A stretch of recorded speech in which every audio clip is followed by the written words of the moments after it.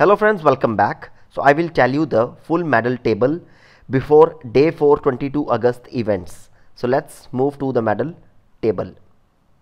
Alright.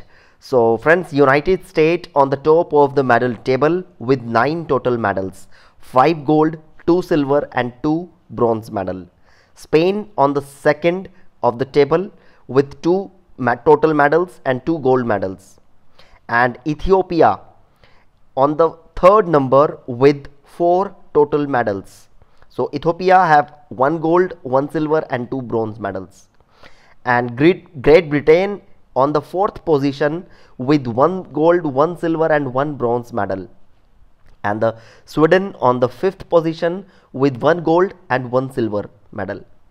And on the 6th, 7th, uh, 8th and 9th, it means on the 6th, posi uh, sixth position, Canada, Serbia, Uganda and Faso with one single gold medal.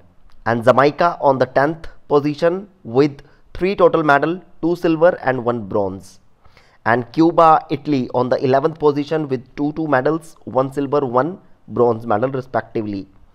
And Australia on Australia, Botswana, Kenya, Poland, Slovenia, they are on the 13th position with single single medals and uh, Romania, Netherlands, Hungary, Czech Republic on the 18th position with single bronze medal.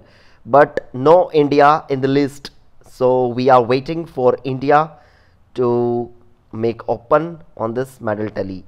So friends this is the full medal tally before day 4 events. Please like this video and subscribe the channel for more updates. Thank you for watching this video